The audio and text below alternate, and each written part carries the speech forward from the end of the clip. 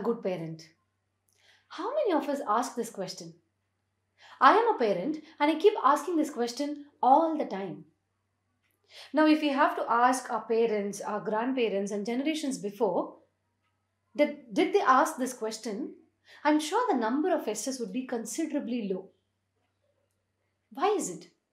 Why is it a question that we keep asking ourselves today that our parents, our grandparents, and generations before did not ask? What has changed over time? What impact that this question and our desperation to be good parents has in our children and in turn in our society? Let me show you some statistics. What we can see in this slide is how our kids are performing extremely well in the competitive examination. And as you can see, the number of kids who are getting more than 90 and 95 percentage has almost jumped by 90% over years. But on the contrary, when you see the report that is published by the National Mental Health Survey, what it says is 15% of adults need active intervention for not just one or even more than one mental health issue. And one in every 20 Indians suffer from depression. And what is even pressing is 87% of millennials are affected by some level of stress. When it comes to relationships, 10 out of every 1000 marriages end up in divorce. Let's move on to the economy. As you can see, we are consistently increasing with respect to our GDP and annual growth rate. But what we can see here, on the contrary, is how did we decline in our rank with respect to happiness index and over years how the suicide rates in the country have been tripled in the past 40 years. You must be wondering the relevance between increase in the number of top scorers and increase in the depression, suicide and divorces. The relationship between GDP, growth rate, per capita income, happiness index, mental health and well-being and relationship. And what if I tell you one of the critical thread which connects all of these dots is parenting. The child that we grow in our home is not only going to lead an independent life in the future, but also going to represent an element in the society. Hence, parenting has got far more impact than what we think.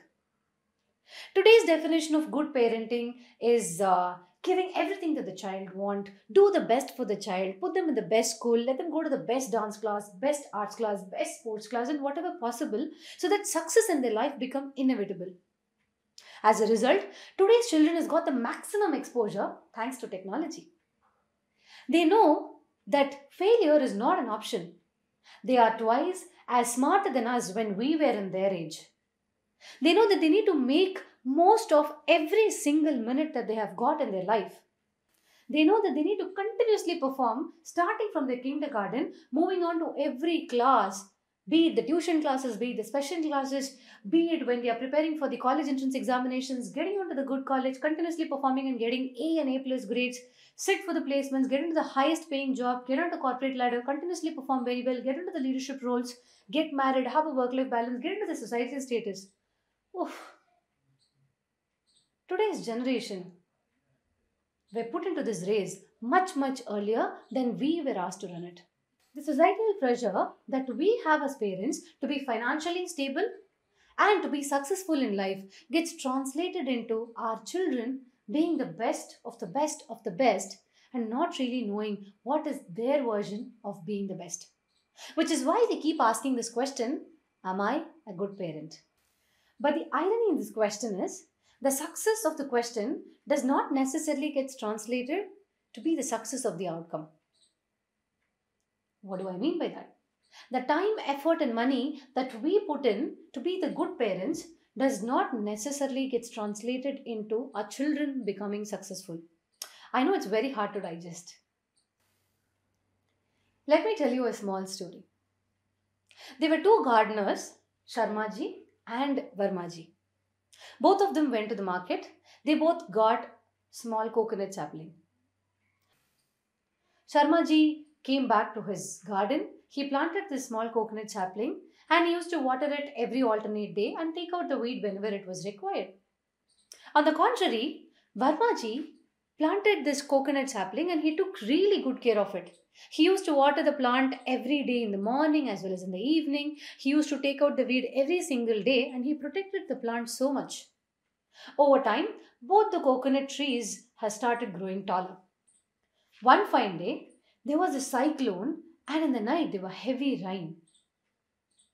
The next day morning, Varmaji only woke up to see that his coconut tree was uprooted.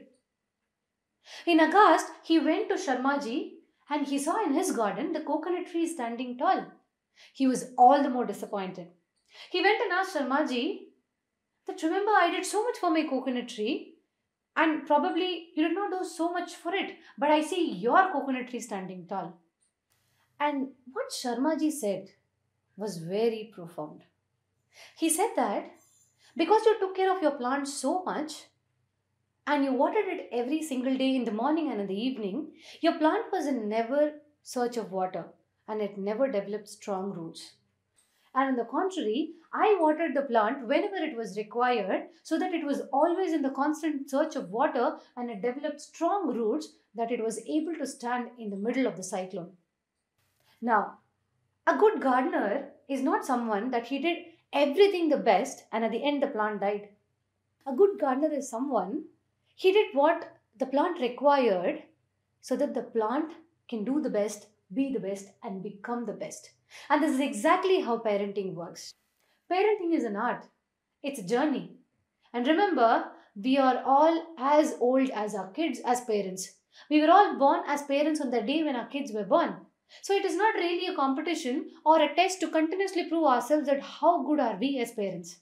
Parenting is not about telling everything that the kid needs to do, give them the bucket list of what they're supposed to do, and give them everything so that they fulfill it. It's about creating an enabling environment for the kid so that the kid can has its own journey to know the best version of being themselves. Am I saying that please don't take care of your kids, don't support them, let them screw up their grades, let them fail in their life? All of this is not important. Hell no, that's not what I'm saying. What I'm saying is do what is required for the kids, don't overdo it. Because remember, they are smarter than us. They are far, far, far more capable than us. They have high learning agility, high emotional intelligence, and enormous potential to become the best version of themselves and not the best version of what we want them to become. Telling a kid what to do in life is going to kill their curiosity, their personality, and their confidence. Let me just give you an example. When we were all our kids, our parents hardly knew what projects we were working, how are we studying, and what grades we got till the time we took the progress report to them. On the contrary, today, we all spend enormous time in doing projects for our kids because we want to decide what grades they should get starting from kindergarten. We want to decide where they should study. We want to decide what they should be learning. We want to decide what they should be doing in every single of their minute in life. And as a result, when we were not there to decide for them, they are not in a position to share with us and what's happening in their life, they start collapsing. They start getting into depression. They are not able to manage their relationships. They are not able to strike a work life balance and life becomes stale irrespective of every success that they have got in their life. As parents, we need to tell them how to lead their life, how to manage relationships, how to handle difficult situations, how we need to help them understand things in their life, how to get educated, how to develop resilience in life, how to be competitive and compassionate, how to be successful and still to be humble. Rather, we focus on giving them the bucket list of everything that we want them to do and give them what they are required to achieve that. And as a result, their life ends up in just achieving what we want them to do. Which is why they're extremely good in delivering under pressure, but they don't know how to be happy, peaceful, and contented.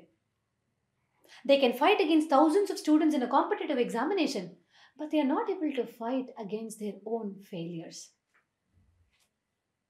Friends, as I see my daughter today, I know I have a choice. I have a choice to populate her life with a list of everything that I want her to do and give her everything so that she can achieve it. Or I have a choice to create an enabling environment for her, to support her where it is required so that I am able to create the best version of what I could create out of her. Friends, we all have the choice. The choice to create a strong society, a society with not just good IQ, but a great EQ. A society with not just raising GDP, raising per capita income, but also decreased depression rates, suicides, and divorces. The choice is ours. Next time, when we ask this question, Am I a good parent? Remember, we do have the choice. The choice to be a good parent or the choice to create a great child. Thank you.